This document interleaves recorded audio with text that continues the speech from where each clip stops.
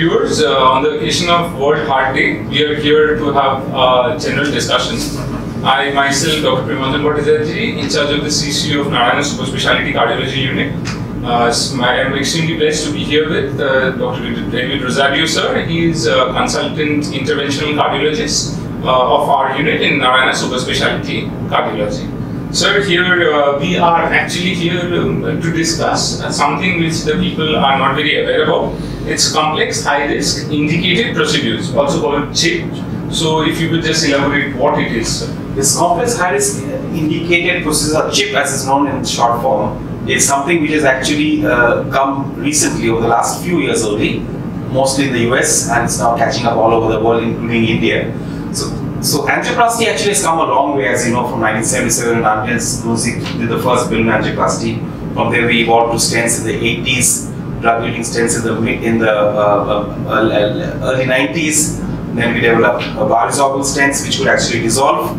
To newest generation drug-eluting stents now, which have got a resorbable polymer with thin struts, which are which are supposed to be more efficacious and safe for the patients.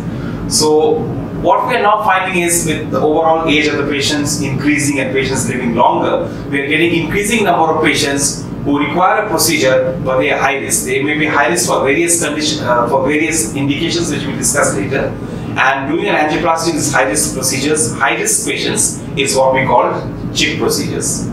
Okay, uh, so now that we know, sir, what is CHIP, so I would now request you to elaborate the criteria of selection of patients who will actually undergo CHIP and uh, how is it actually done? So uh, angioplasty, as it normally is in simple cases, you know, we put a uh, we put a catheter either through the groin or through the wrist. We access the coronary arteries and we, we encase the coronary artery with a guiding catheter, we pass a wire down the artery, we open the block with a balloon and we put a stent and come out. That is how angioplasty is in the simple form. But there are patients who actually require more and there are patients which are, who have a high risk and complex anatomy which makes the procedure a little longer, technically more challenging and may have a slightly higher uh, mortality.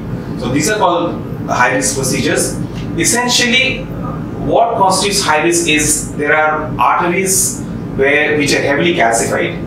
So the, the, the stenosis of the block is heavily calcified, and these very heavy, heavily calcified blocks, uh, calci calcified blocks which which act like cement or concrete, make it not amenable to balloon angioplasty. So if you try to open the block with the balloon, either the balloon fails to inflate adequately or it uh, ruptures. Then what happens is if it if that happens, one is not able to deliver the stent, or even if the stent is delivered with difficulty, the stent may not expand properly. And there are multiple studies all over the world coming time and again which shows that in heavily calcified lesions, if these blocks are not adequately prepared, your angioplasty result is suboptimal. Patient does not do well in the short term, in the intermediate, and in the long term. So heavily calcified lesions is one aspect of these CHIP procedures. The other CHIP procedure is when we do angioplasty of the main artery, which is called left main artery. Left main, as you know, is the most important artery, so one has to be very quick and careful because that supplies most of the heart.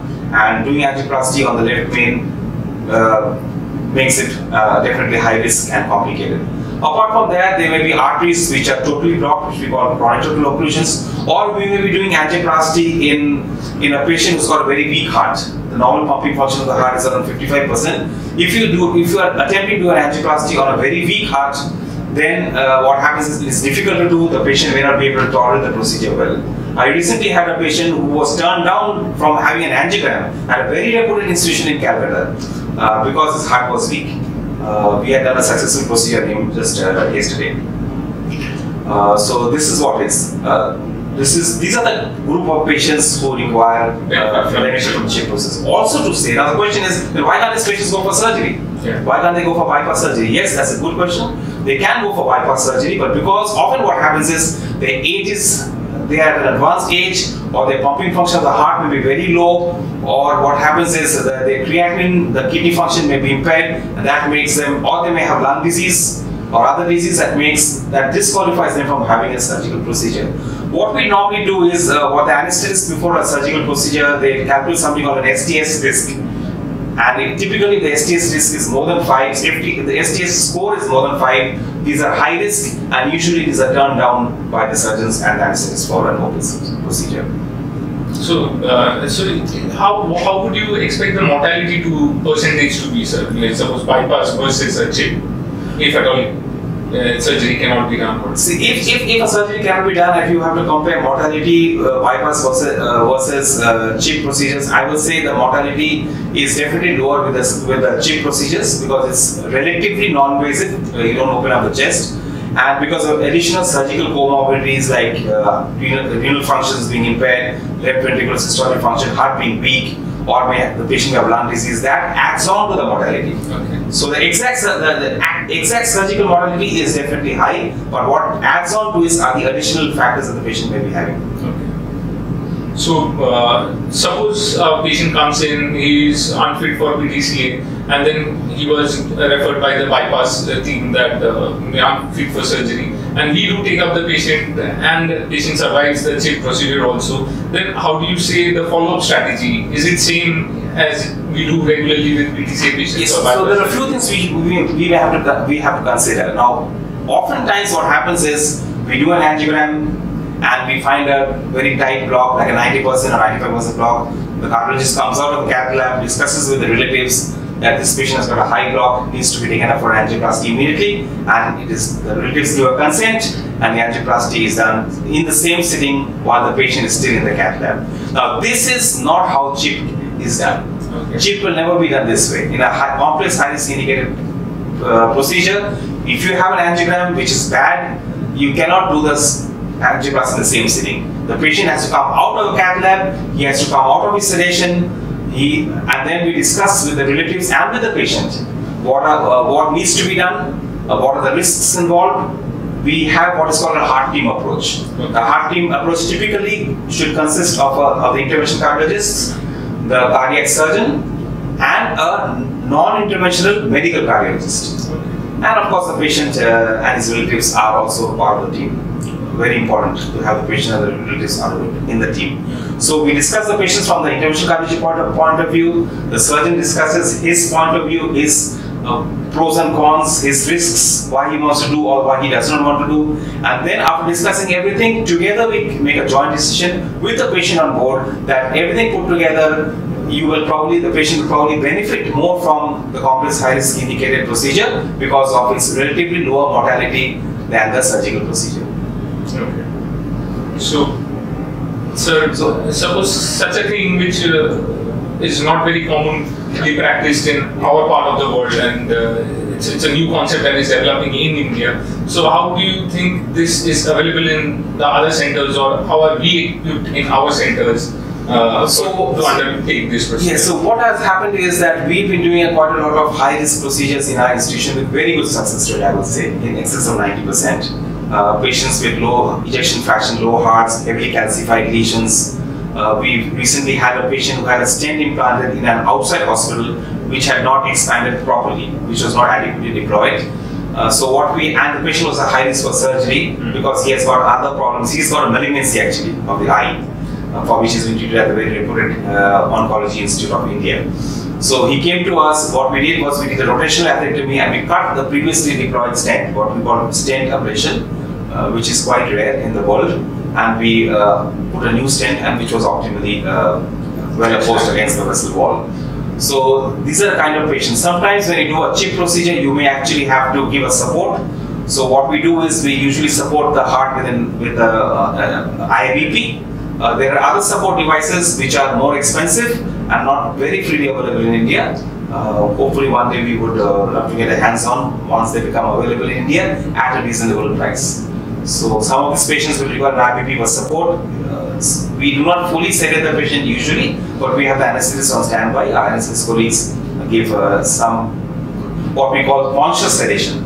That is what is done for some of these patients, for some of these procedures because they tend to be slightly longer than normal after the patient, after the procedure is done, the patient comes to a CCU, and then it's very important that the role of Dr. Premanjan, who's a CCU in charge, and the CCU doctors, the CCU nurses, is very important. It is as important as the interventional cardiologist as a procedure because you may have a great procedure, but there can be a major uh, uh, catastrophe post procedure. So frequent monitoring of the patient, assessing the vital functions. If the patient is, is on a hemodynamic support, making sure that the uh, perfusion of the distal extremities is well taken care of.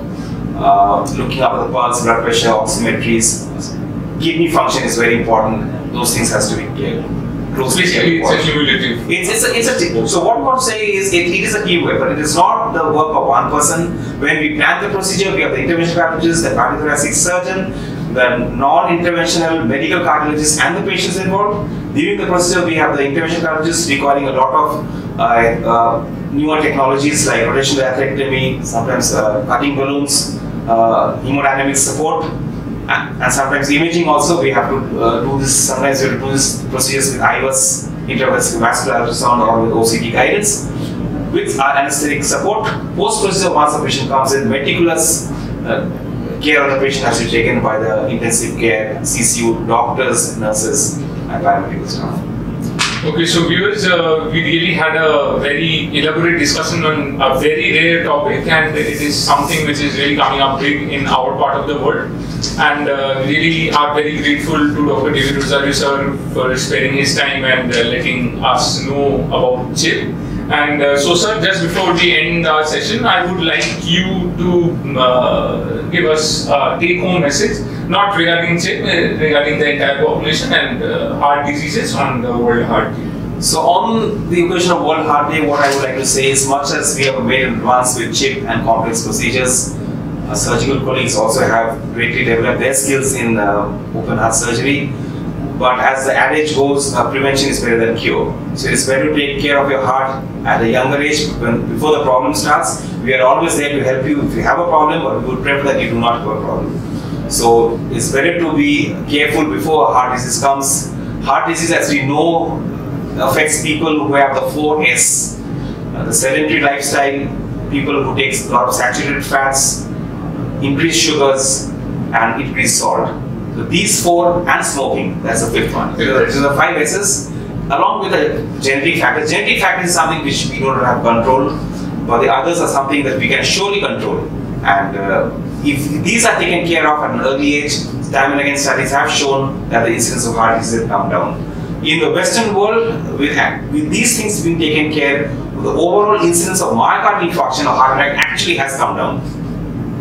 Uh, so this is something which we need to look into. We know that we Indians are genetically more prone to heart disease than our Western or uh, counterparts or counterparts from countries like Japan and China in the sense that Indians tend to get heart disease at least two, one or two decades earlier than our Caucasian counterparts or our Japanese or Korean or Chinese counterparts. So this makes us more prone for some reason. And if we can take care of the five S's at least that I mentioned with intermittent uh, check, uh, checkup with a cardiologist, most, many of this, if not all, a lot of heart disease can actually be prevented. Okay, so viewers, thank you and wish you a very happy World Heart Day.